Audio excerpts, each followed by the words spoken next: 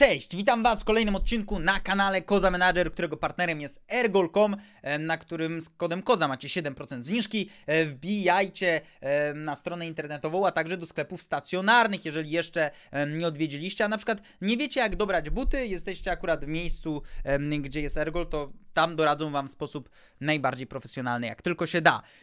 E, Zapraszam do meldowania się na dole w komentarzach, zapraszam do łapkowania, do subskrybowania kanału, jeżeli jeszcze tego nie robicie, a my skupiamy się na spotkaniu z Arsenalem. To jest Arsenal inny niż w zeszłym sezonie pod względem kadrowym, inny pod, e, w zeszłym sezonie pod względem miejsca w tabeli, ale mam nadzieję, że to jest Arsenal, który Niemal jak zwykle przegra z Manchesterem City. Na to naprawdę liczę. E, jesteśmy przygotowani do tego spotkania, w którym Adeyemi dostaje od nas szansę w miejsce Alvareza, e, ponieważ Niemiec w ostatnim spotkaniu EFL Cup zdobył hat-tricka, więc chciałbym wynagrodzić go także starciem na Etihad przeciwko Arsenalowi.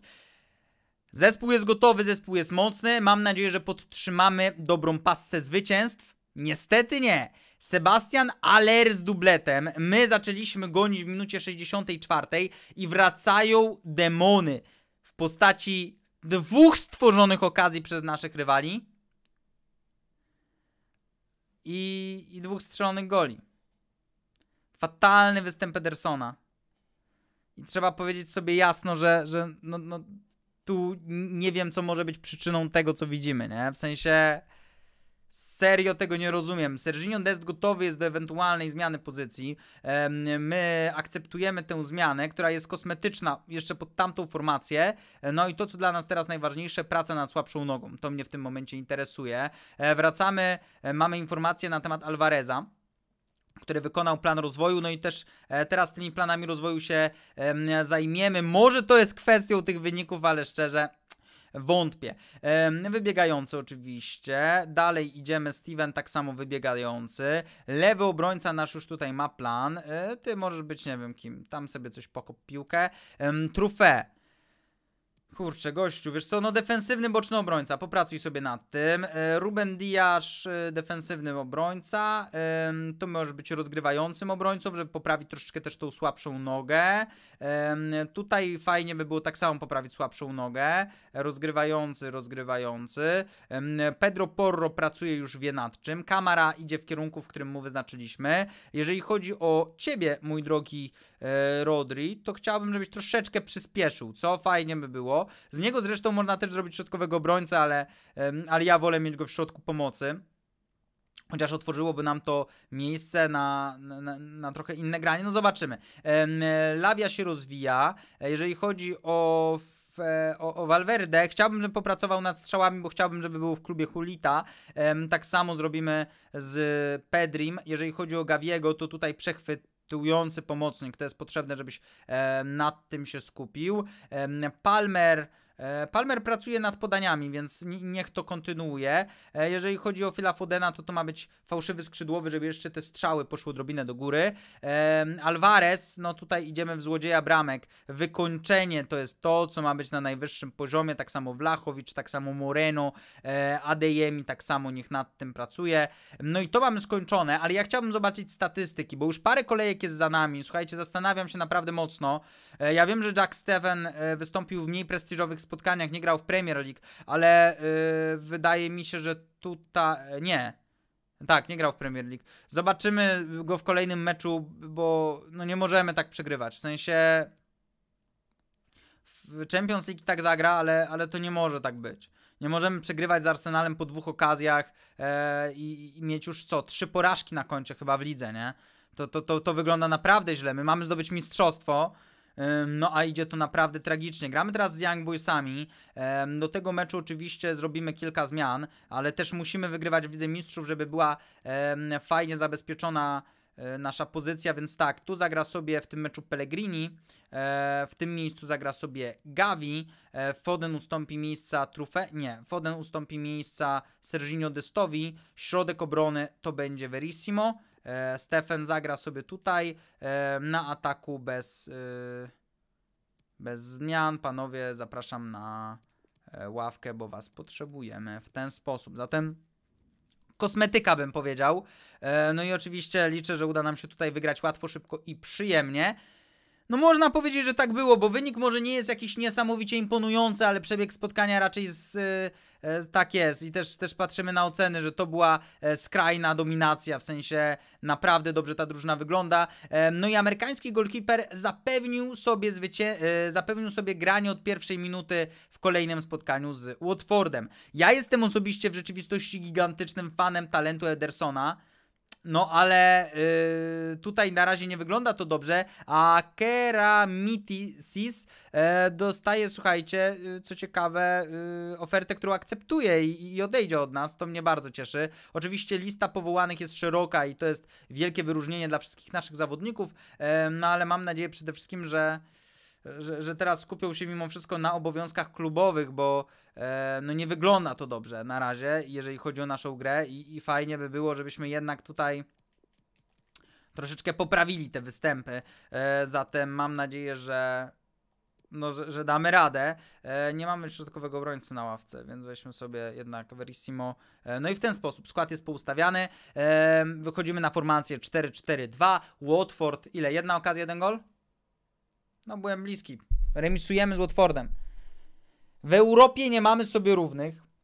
I nie mówię tylko i wyłącznie tego o Lidze Mistrzów, ale także oczywiście skupiam się na tych spotkaniach przedsezonowych. Ale w lidze wygląda to źle. I to naprawdę jakby wygląda fatalnie.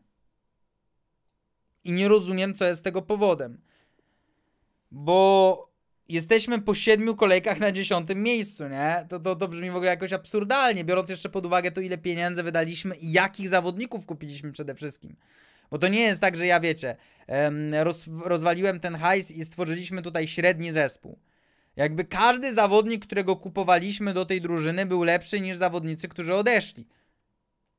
To, to, to, to, to jakby trzeba zauważyć, że tutaj nie było tak, że sprzedałem Kevina De Bruyne, żeby kupić młodego, który w tym miejscu będzie mógł sobie grać. Sprzedałem Kevina De Bruyne i w tym miejscu kupiłem e, Pedriego, który ma 90 oceny ogólnej i w tym momencie piłki nożnej jest piłkarzem lepszym, nie? Bez zmian w formacji. Po prostu tak wychodzimy, z defensywnymi bardziej bokami pomocy, e, bo jest Pedro Porro i zobaczymy jak to zadziała. No i zadziałało, 1 do 0 wygrywamy. Opornie, bo opornie i Wlachowicz, słuchajcie, zaczął się zwracać, bo w, w 89 minucie strzela bramkę. Ederson zagrał wreszcie dobry mecz. W środku obrony Cruz, przez Ruben i Kamara bardzo dobrze. Patrzymy na tą e, prawą stronę e, z Pedro Porro, ona wyglądała nieźle. Foden bardzo przyzwoite spotkanie. Tak naprawdę źle wyglądała pozycja numer 6. Zobaczcie, e, Rodrigo zagrał poniżej oczekiwań, tak samo Valverde. I w związku z tym na kolejny mecz wyjdziemy jeszcze bardziej ofensywnie. W sensie e, chciałbym zobaczyć na Romie, jak poradzimy sobie mm, w ustawieniu e, bardzo ofensywnym. Pojedziemy do Rzymu po swoje. W tym meczu chcę zagrać Adeyemi i on zagra, e, ale tu wyjdziemy full offense, bo Rodri w tym meczu nie zagra. W tym meczu ustawiamy się z SPO i tu zapraszamy Pellegriniego, tu zapraszamy Adeyemiego. Jeśli chodzi o zmiany jeszcze, to um, Steven wskoczy sobie tu i tu zapraszamy Verissimo. Jezus, nienawidzę, te, nienawidzę popełniać tego błędu, no nie? To jest tak irytujące. Dobrze, zatem jeszcze raz. Zapraszam do góry. Na SPO. Hmm. E, zapraszam na SPO i tutaj wskakuje sobie Pellegrini, e, Valverde, Valverde i Pedri. W ten sposób to wygląda. E, tu Verissimo, tu Stefan. No i to wszystko. Niech, niech rozpoczną się igrzyska. Mają mocny środek pola, jeżeli chodzi o Kudusa. Tamtych zawodników nie za bardzo kojarzę. No ogólnie jest e, Hanko z takich zawodników, których e, często ch chcę kupić w karierze, prawda? E, więc to jest ciekawe, jeszcze tylko niech tu Adeyemi wejdzie, żeby nie było, e, żeby nie było kwasów. E, I Cruz się zmieni z trufę na to spotkanie. Dobra, jesteśmy gotowi. Trzymajcie kciuki, żebyśmy wygrali w tym meczu, bo naprawdę tego potrzebujemy i wygrywamy 2 do 0. Pellegrini Adeyemi, więc ten nasz ofensywny zestaw poradził sobie też naprawdę przyzwoicie. Obrona z dobrymi ocenami, bardzo dobrymi ocenami. Patrzymy na tych, którzy grali od pierwszej minuty. Pedri bardzo ok, Pedro Porro bardzo ok, Wlachowicz nie błyszczał. No i ciekawy jestem, czy Pellegrini cieszył się ze zdobanej bramek przeciwko swojej byłej drużynie. Tak czy siak, nieważne czy się cieszył, czy nie, ważne jest to, że w tym spotkaniu wygrywamy. Zadowoleni jesteśmy E, z Adeyemiego, ale mam nadzieję, że tak samo zadowoleni będziemy po meczu z Southampton. To jest ekipa na miejscu 12. E, tu po raz kolejny zastosujemy wariant z tym podciągnięciem e, jeszcze dziesiątki pod dwóch zawodników ofensywnych, bo chcę, bo naprawdę chcę, słuchajcie, żebyśmy tutaj no po raz kolejny wygrali i mam nadzieję, że to nam e, przyniesie zwycięstwo. Co istotne, Verissimo też tu zagra drugi mecz z rzędu, bo liczę, że on da nam także tutaj bezpieczeństwo z tyłu ze świętymi. Wygrywamy 1 do 2. Pellegrini strzela, Wlachowicz strzela, Ederson przyzwoity mecz, obrona no zagrała średnio, e, ale no słuchajcie, no co ja mogę powiedzieć? Kolejny mecz bez Rodriego w składzie, który udaje nam się wygrać. No a Rodri akurat jest zawodnikiem, którego nie ruszałem. To jest zawodnik, który jest na swojej pozycji. To jest zawodnik, który jest na e, szóstce takiej na takim łączniku obrony z pomocą i, e, i, jest, jest na tej pozycji, na której mi bardzo zależało, żeby on był i żeby był nieruszony, bo ja tutaj widziałem to serce drużyny i ten najbardziej newralgiczny punkt, którego ewentualna zmiana mogłaby nas kosztować wyniki. Tej zmiany nie zrobiliśmy, a on nie radzi sobie najlepiej. E, słuchajcie, w takim razie w tym meczu będzie jedna zmiana, bo ja chcę, żeby on zagrał akurat w tym spotkaniu. Zagra na środku obrony. Ruben Diaz w tym meczu y, odpocznie. E, tu oczywiście Pellegrini e, i tu zapraszamy e, Cruza, bo chciałbym, żeby on zagrał. E, mecz pucharowy, więc Stefan wystąpi sobie tutaj. E, i, i, czy Dest zagra? Tak, Dest zagra sobie na tej pozycji. To są jedyne zmiany. E, wychodzimy mocnym składem, bo gramy z mocnym rywalem. Victor Osimen jeszcze w szeregach e, Spurs. Naprawdę tam jest mocna kadra, ale mam nadzieję, że uda nam się wygrać no niestety, w tym meczu przegrywamy. Stworzyli sobie znowuż dwie okazje, strzelili dwa gole, nie? W sensie... A, no i co, czy to jest wina bramkarza? Czy, czyja to jest wina? To jest pytanie, które trzeba sobie zadać i na które odpowiedzi poszukamy w formie zawodników. To jest to, na co często zwracacie mi uwagę, że ja nie zwracam uwagi. No mogliśmy trafić na Millwall, Fulham, West Brom, Newcastle, Walsall, Barnsley, cokolwiek, a trafiliśmy na Tottenham. Bardzo nieprzyjemnie. Bardzo nieprzyjemnie, że tutaj wypadamy. Eee, ale to, co mnie interesuje w tym momencie, to ja chciałbym zobaczyć formę. Bo, bo ktoś tu chyba musi być mocno pod formą eee, i takim zawodnikiem jest Cruz, takim zawodnikiem jest Dest. A my nie możemy sobie pozwolić na piłkarzy, którzy nie są w formie w zespole. Nie? Jakby, no nie ma opcji. Zatem yy, na razie bardzo mi przykro, panie Cruz, ale może za duża presja była na tobie, verissimo tutaj, yy, a Dest nie jest istotnym elementem, w sensie Dest jest raczej rezerwowym bardziej, więc yy, tutaj nie będziemy się na nim jakoś strasznie skupiali. Gramy z Aston Villą, a potem gramy z Romą. E, w tym spotkaniu jeszcze informuje nas Rodri o tym, zagrał na środku obrony i tam, że pozycja, ten nie interesuje mnie to za bardzo. Mnie interesuje to, żebyśmy w tym meczu e, wygrali. Wychodzimy z dyszką znowu, e, więc róbmy to tak, tylko zrobimy trochę zmianę, a mianowicie, albo nie, bo działa na tej dyszce, słuchajcie, działa na tej dyszce Pellegrini, a on ma czerwoną kartkę. E, więc e, zagra sobie tutaj Foden na dziesiątce. E, tu zaprosimy Pedro Porro. Valverde na prawej stronie i w środku pomocy swoją szansę dostanie Gavi, żeby też czuł, że jest ważnym elementem drużyny. Gramy za Aston Villą i ekipa De Villans przegrywa z nami 1 do 4. Wow. E, ale to oni zaczęli strzelanie w ogóle, nie? Ink strzelił, Wlachowicz z dubletem, Valverde i Gavi z bramką. Cieszy to bardzo. W zespole naszych rywali pojawił się Polak, ale nie Mati Cash, a zakładam, że Nowicki. To jest polski golkiper. No ale nas przede wszystkim cieszy bardzo okazałe zwycięstwo. No tylko e, trzeba mieć nadzieję, że, e, że uda nam się tutaj utrzymać ten e, że uda nam się tutaj utrzymać ten poziom. Zarząd mówi nam o rozwoju młodzieży. E, wydaje się, że ja nie zwróciłem na to uwagi, więc tutaj chciałbym zobaczyć to zadanie. E, mamy ściągnąć doświadczonego zawodnika i to zrobimy. E, ściągnij co najmniej dwóch piłkarzy o potencjale większym. Dobrze, czyli na pewno e, zasadzimy sobie tutaj e, szkółkę juniorów, rozbudujemy ją e, robiąc to w sposób porządny, więc potrzebujemy ziomeczka 5 na 5, e, a tobie niestety dziękujemy, więc zostajemy z Kiganem.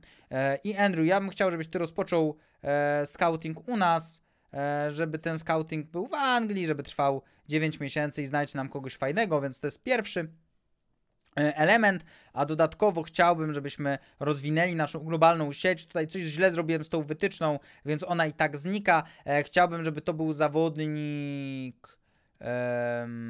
no ja chciałbym, żeby to była klasa światowa. Zobaczymy, czy znajdziemy takiego piłkarza. Klasa światowa poniżej 20 roku życia, e, więc tutaj zobaczymy, czy nam się to uda.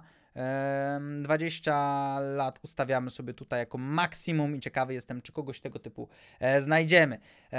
Więc czekamy na e, wyszukanie takich zawodników. No i gramy teraz z Romą. To będzie spotkanie o tyle ciekawe, że tak, mamy 9 punktów, więc fajnie by było tutaj wygrywać w Lidze Mistrzów cały czas. Mimo wszystko odpocznie sobie Wlachowicz, zagra Moreno w tym meczu, dostanie swoją szansę. Zagramy z szóstką więc w ten sposób to będzie wyglądało. Pedri, Rodri, Valverde. E, jedna zmiana będzie tylko, bo chciałbym, żeby Ruben Diaz wystąpił sobie tu, tu zrobimy sobie tak, tu zrobimy sobie tak i tu zrobimy sobie e, tak. Chcę wynagrodzić Gawiego za strzeloną bramkę w ostatnim meczu, e, bo to jest duża wartość, że strzelił gola w Premier League, więc niech zagra w Lidze Mistrzów z Romą. Przegrywamy 1 do 3. I to jest ta formacja z szóstką, która zawodzi. Kto grał na szóstce u nas? Eee, z tego co pamiętam, był to Valverde. Zobaczcie, jak to źle wygląda. Musimy zrezygnować z tego defensywnego pomocnika. To jest niesamowite, ale te układy z defensywnym pomocnikiem bardzo często kończą się no nie wypałami. Zatem spróbujmy zrobić tutaj tę zmianę e, i z formacji 3-1-4-2 rzeczywiście grajmy z dziesiątką. Więc weźmy sobie trzy. co tutaj chcemy? Trzy. No 3-5-2 na dwóch defensywnych, no to w ogóle jest bez sensu. No albo ma to sens, wręcz przeciwnie. no nie, tym graliśmy do tej pory. No nie, po prostu 3-4-1-2, ale w dosyć mocno ofensywnym zestawieniu. E, no i tak, w takim, w takim układzie ma to wyglądać. Zobaczymy, jak Rodri poradzi sobie wyżej, e, czy, czy nam się tutaj nie, nie posypie. E, no dobrze, dobrze się spisałeś, zawodnik zawieszony, kto tam wypadł? Rodri, fantastycznie. W ogóle jak Pedri sobie radzi od przejścia do nas, bo mam wrażenie, że tutaj ten transfer też nie może być przez nas uznany za transfer roku, przynajmniej na razie. Pedri 6-3. No, na poziomie Rodriego niemal sobie radzi, no nie? Więc y, to trzeba sobie powiedzieć, że no, że tutaj Rodri yy, też, yy, że Pedri musi na siebie uważać. Nie jesteśmy już na miejscu piątym, więc ta sytuacja wygląda odrobinę lepiej. Zobaczmy, kto jest na miejscu pierwszym. Leeds United i mają 6 punktów przewagi nad nami, no ale już skracamy ten dystans, bo wystarczy jed, jeden mecz ułożony e, po naszej myśli, jakby ogólne, nie fajny splot okoliczności. Możemy być nawet po jednym spotkaniu na miejscu drugim. Co prawda, możemy wypaść nawet poza e, ósemkę prawdopodobnie, no ale sami rozumiecie, a my teraz wychodzimy na Leeds w super ważnym starciu. E, w tym meczu e, zagra Valverde, to pewne. Zagra Pellegrini, to także pewne. I tu mnie zastanawia, jak ja chcę to rozwiązać. I chcę to rozwiązać zupełnie inaczej niż graliśmy do tej pory, bo zagramy w tym meczu tak. Mam nadzieję, że uda nam się ekipę chyba w karierze prowadzoną przez Bielsę, bo nie pamiętam kiedy ta kariera się zaczęła. Czy jeszcze Bielsa był, czy, e, czy już może go nie było.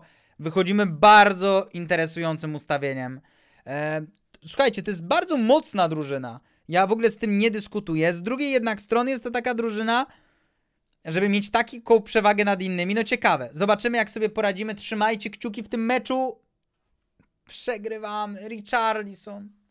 No Richarlison chyba teraz jest najlepszym piłkarzem na świecie. Serio mówię, jakby bez kapy, bo, bo wyniki, które on kręci są nieprawdopodobne. no jedna bramka, chociaż remis, żebyśmy z nimi zrobili. Manchester City jest załamany po porażce z liderem, nie? I brzmiałoby to ciekawie, jakby bylibyśmy w stanie to jakoś tam e, przeżyć, no ale liderem jest Leeds United. Niesamowite, co prawda, to jest dopiero 11 kolejek za nami. Tutaj wszystko jeszcze się poprzekłada. Jeszcze wszystko może wyglądać zupełnie inaczej. No ale rzeczywiście Leeds w marszu pod tytuł mistrzowski. Nie, to jest raczej marsz już tutaj. E, marsz.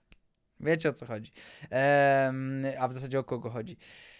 Oj, oj, oj, oj, no niedobrze, bardzo niedobrze. Mamy teraz przerwę reprezentacyjną, zdaje się. Mamy także informacje na temat tych zawodników, których tutaj e, mamy wyskautowanych. Widzimy między innymi e, tego juniora Monaco, który jest prawdopodobnie Leo Messim. E, i bardzo możliwe, że będziemy chcieli po niego sięgnąć, bo jest na tyle młody, że możemy go sobie gdzieś tam kupić i, i wypożyczać jeszcze, czy coś w tym stylu, e, więc zobaczymy jak to z nim będzie, a nie ma 83 oceny, więc powinien być spoko też.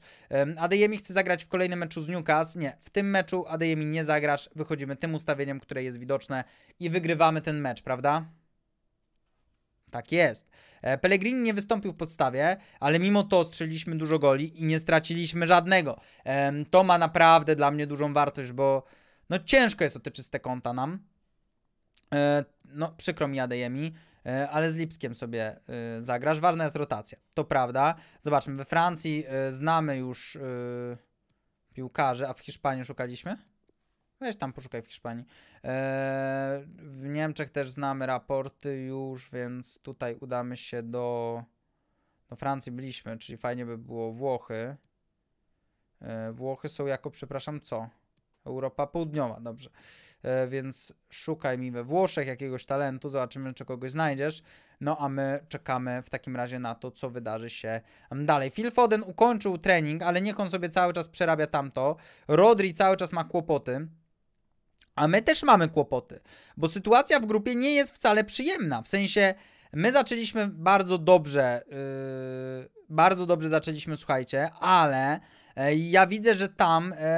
Yy, przegrana, ewentualna i wygrana Romy, to są dla nas kłopoty. Na szczęście my wygrywamy. Valverde, Vlachowicz i Alvarez strzelają dla nas bramki. Wiem, że Adeyemi miał zagrać w tym meczu, e, ale trzeba by było tam tą kartkę cofać i tak dalej, to mi się nie chce. W sensie robić to przez skład i tak dalej, to zagra sobie z Wolverhampton w takim razie. Miejsce piąte nas absolutnie nie satysfakcjonuje. No my jesteśmy Manchesterem City, celujemy tylko i wyłącznie w fotel lidera. E, no i jeżeli tutaj wygramy, no to będziemy na pewno tego fotela odrobinkę bliżej. W meczu z Wolves zatem robimy zmianę i chciałbym, żeby Adeyemi wystąpił od pierwszej minuty.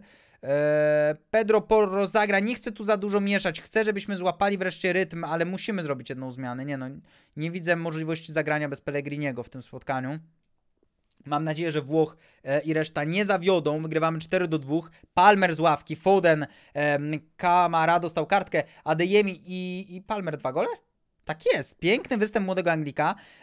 No i no i to bardzo cieszy, słuchajcie. To naprawdę e, jest spoko, że udaje nam się tu zwyciężyć. Dostajemy raport o tych juniorach, którzy są w szkółce, e, no ale na razie tutaj nie widzimy nikogo, kogo bylibyśmy gotowi pozyskać do, dla drużyny podstawowej. Jedyne co to myślę o tobie w kontekście środkowego napastnika, ale to zajmie bardzo długo. Więc no ty sobie tam dłub to, co sobie dłubiesz, ale niestety Kevinem De Bruynem e, czy też Azardem, patrząc na pozycję teraz twoją, raczej nigdy nie będziesz. Nawet tym z Realu Madryt. Chociaż do tego chyba wystarczy być zdrowym. Dobra, mamy pierwsze raporty na temat młodzieży angielskiej. No i ten gościu wygląda całkiem obiecująco. Nie mówię, że e, tutaj jakaś wielka ekstaza jest, ale, ale nie wygląda najgorzej, więc sprawdźmy go sobie. A nuż będzie to piłkarz, który nas e, w jakiś sposób zainteresuje. To jest e, ten Jackson. Tak, to był on. E, zatem zobaczmy chłopaka, co można z nim zrobić. I niewiele można z nim zrobić. W sensie to strzelanie e, zabiera nam jakąkolwiek możliwość e, pracy z nim, tak naprawdę. No tutaj możemy go przerobić na SPO, żeby w międzyczasie pracował nad strzałami, ale tak, to, to, to w ogóle nie ma e, no nie ma dla niego nadziei, nie? Więc ty, tych dwóch zawodników sobie tu zostawiamy, ale, ale nie widzę tutaj żadnej opcji, tak szczerze. E, mamy tę młodzież tutaj już na e, tapecie, ale tym zajmiemy się później. Na razie czekamy na mecz z Chelsea. E, no i do tego spotkania e, chciałbym, żebyśmy podeszli w taki sposób. E, z jednym wyjątkiem chcę Pellegriniego w podstawie i to jest wszystko. E, bez kalkulacji wychodzimy na Chelsea e, i musimy ten mecz wygrać. Gramy na Stamford Bridge 19.45, 3 grudnia 2025 roku. Zmęczona lekko Chelsea, która pokonała nas w tarczy dobroczynności, teraz przegrywa. No i muszę powiedzieć, że pan Palmer e, za niedługo zapuka może nawet do drzwi podstawowego składu, ponieważ młody Anglik naprawdę imponuje swoją formą. Gramy teraz z Brightonem e, i to jest, wydaje się, dobry mecz do tego, żeby dostał on swoją szansę od pierwszej minuty. E, drobna, dorobna zmiana w obronie. Mm, Tutaj w takim razie zobaczymy Palmera jako wspierającego? Nie, ale spokojnie możemy zrobić tutaj zmianę, która nie zaszkodzi drużynie, przynajmniej taką mam nadzieję. E, Palmer na dziesiątce, e, Porro sobie wskakuje tutaj e, i tu Adeyemi. E, W ten sposób. Pedri, Rodri, Valverde, Palmer. Em, Philip Foden może i musi trochę odpocząć, ale ja nie chcę mu dawać odpoczywać. Musimy wygrywać, słuchajcie. Musimy wygrywać mecze. Machina musi iść do przodu, więc e, be, bez litości jestem troszeczkę dla swoich zawodników, ale też nie są jacyś wyczerpani strasznie, nie, nie przesadzajmy. Na pewno mocny fizycznie jest Brighton, bo ten Sima, jeżeli kojarzy, to jest taki dosyć pokaźny zawodnik. Zambo Angisa, no to wiemy, że to jest po prostu koń do biegania. Ale mam nadzieję, że mimo wszystko sobie poradzimy z tym Brightonem. Wygrywamy 2 do 1. Wlachowicz i Adeyemi, a Palmer od pierwszej minuty wypadł też nie najgorzej. 7-1 ocena to może być nawet e, zwiastun jakiejś asysty. Sam nie wiem. Wiem, że Pedri e, no jest piłkarzem, który na pewno nie robi tego, czego byśmy od niego oczekiwali. A że kamera mi zgasła, no to to jest dobry moment, żeby powiedzieć wam, że widzimy się już jutro. Za dziś bardzo wam dziękuję. Uśmiecham się do was. Chociaż mnie nie widzicie, to ja naprawdę się do was uśmiecham.